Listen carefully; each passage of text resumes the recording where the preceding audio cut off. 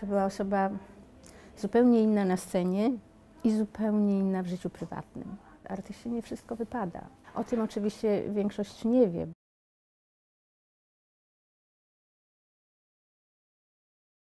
Jak w ogóle doszło do tego, że zaczęła się Pani przyjaźnić z Karin Stanek? E, To był zupełny przypadek. Karin odchodziła od y, zespołu swojego Czerwono-Czarnych. E, Byłam w tym czasie w Międzyzdrojach z moją córką na wczasach i poznałyśmy się. Znałam zespół wcześniej. Y, Jakoś tak poznałyśmy się z Karin i ona mówiła, że odchodzi od zespołu, że będzie musiała sobie sama radzić. I nawiązałyśmy tak kontakt. Później przez kilka miesięcy się nie widziałyśmy, ale był taki czas, kiedy ona zaczęła sama komponować. A ponieważ ja y, potrafiłam zapisywać piosenki jej w nutach, więc tak się w zasadzie to zaczęło. Zaproponowałam jej, wiesz co, to jak ty komponujesz, a nie potrafisz sama tego zapisać, to ja ci będę to zapisywała. I tak się zaczęło. Wcześniej była Pani inżynierem. Ja jestem tak z zawodu inżynierem i do budownictwa lądowego, także pracowałam mm, jako inspektor nadzoru na budowach. No, nie bardzo ciekawa praca. I w pewnym momencie stała się Pani menadżerem Tak, Karin i też takim rzecznikiem w ogóle w mediach tak, również. dlatego że ona praktycznie została zupełnie sama.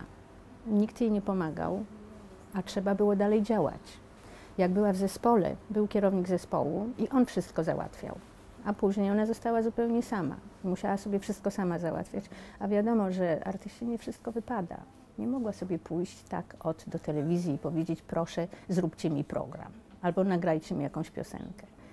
Więc pytała mnie, czy ja mogę, ponieważ no, znajdowałam jakoś ten czas pomiędzy moją pracą zawodową a, a y, tym, tymi działaniami dla niej. No i zaczęłam rzeczywiście załatwiać takie sprawy też. Tak jak jej imię, Karin, prawdziwe, Prawdziwe. bardzo oryginalne. Tak i ona była bardzo oryginalną postacią. Bardzo. To była osoba zupełnie inna na scenie i zupełnie inna w życiu prywatnym. Na scenie to był żywioł, dynamit, a jak schodziła ze sceny, była wyciszona, skromna i nie było jej widać. Ona też miała bardzo trudno w życiu. Bardzo trudne życie, pochodzi ze Śląska, y, z wielodzietnej rodziny. No nie przelewało się w domu. Pomagała mamie. Od dziecka praktycznie. Zresztą w książce jest to bardzo dokładnie opisane. Tak, kiedy sfałszowała, tak? Tak, Datę datę urodzenia. urodzenia, żeby mogła pójść do pracy, nie mając nawet 16 lat. I to po musiała, to, żeby pomóc pomóc rodzinie. mamie. Tak, musiała Dokładnie. pomóc mamie.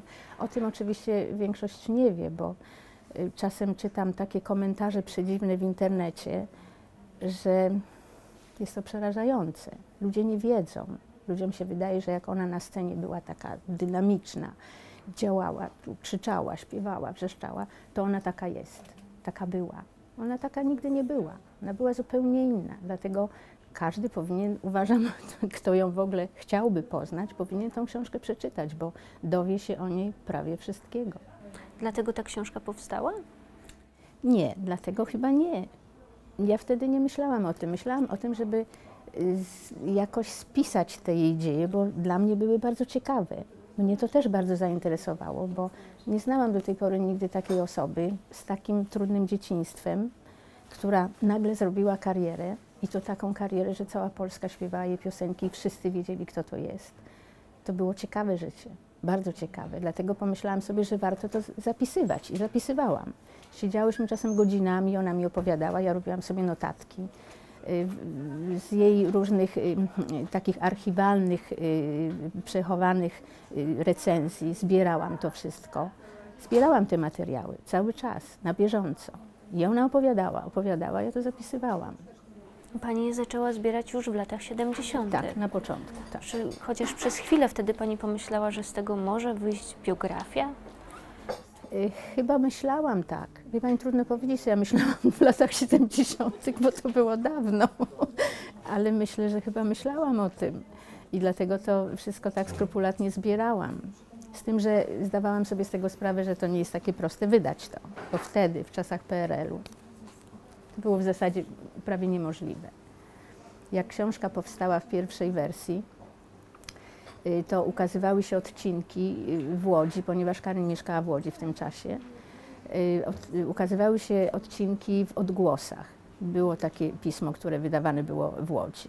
I te odgłosy poszły nam na rękę. Oni jedyni w zasadzie chcieli to opublikować. Czyli najpierw było to w odcinkach, a później no, wszystko jakoś y, ucichło, bo nie było wydawcy. To w ogóle nie było mowy, żeby to wydać. Jak ja pytałam gdzieś w wydawnictwie, to mi mówili, a to, to, to w ogóle się nie nadaje, bo tu mamy jakieś rewolucje, czy tam inne sprawy październikowe. Takie coś. czasy. Takie były czasy, tak, PRL-u. I nie było mowy o wydaniu. Dlatego to wszystko wszystko leżało, zmieniło. całymi latami leżało. Teraz już było dużo łatwiej wydać. Tak, jak y, po zmianie oczywiście, jak przyjechałyśmy pierwszy raz w 1991 roku do Polski, Karin przyleciała na y, koncert w Sopocie. Wtedy pomyślałam o tym, żeby to wydać. I zgłosił się do nas pan, który y, powiedział, że wyda to. I rzeczywiście ta książka w tej pierwszej wersji została wydana. Troszkę była pozmieniana, ale była wydana. No ale to nie było tej promocji, która teraz jest. Nie, tym bardziej, że ja tego nie pilnowałam, bo mieszkałam w Niemczech. A jak ja byłam daleko, to nie było tego kontaktu. To trzeba jednak mieć kontakt, trzeba właśnie o tak jak tutaj porozmawiać na ten temat, pokazać się. No nie miałyśmy takich możliwości. Z drugiej strony teraz pani też mieszka daleko. Ale to dopiero od roku. A jak wyglądało życie gwiazdy w PRL-u? Wie Pani, zupełnie inaczej niż teraz. Bo teraz nasze, gwiazdy zarabiają dużo pieniędzy i żyją po prostu sobie bardzo dobrze. I ja się cieszę z tego. Natomiast wtedy były stawki, tak zwane. Artyści dostawali pewną stawkę i nie można było więcej dostać za koncert. Stawki nie były wysokie. W książce też jest opisane, jak te stawki wyglądały w porównaniu y, z płacami normalnymi, z pensjami. To nie były wielkie pieniądze. Także nie zarabiały krocie. Y, No Karin nawet nie miała samochodu. No ale ona była w spe- specyficznej sytuacji, dlatego że ona w zasadzie większą część zarobionych pieniędzy wysyłała mamie, żeby pomóc wychować, wykształcić swoje młodsze rodzeństwo. A jak pani ją wspomina? Jak pani pamięta Karię? Miała dobre serce, y, nigdy nie była zawistna, nigdy by komuś krzywdy nie zrobiła.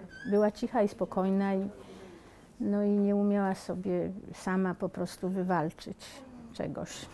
No od tego była pani. No właśnie o to chodzi. A proszę mi powiedzieć, ta książka jest wydana w taki bardzo specyficzny sposób. Tam jest jeszcze aplikacja. Nazywa się Tab 2C. Dla mnie to też jest coś zupełnie nowego. Jak pierwszy raz o tym usłyszałam, nie wiedziałam w ogóle o co chodzi. Y, Okazuje się, panie mi wytłumaczyły w wydawnictwie, że to jest y, taki program. y, Ikonka znajduje się na zdjęciu i tą ikonkę należy zeskanować. I ten program, jak jest już ściągnięty w smartfonie albo w tablecie, to wtedy można wysłuchać piosenkę. I to jest w ogóle super sprawa, zupełnie coś nowego, bo kupuje się książkę, ale jednocześnie można wysłuchać nagrań. Dla mnie jest to rewelacja.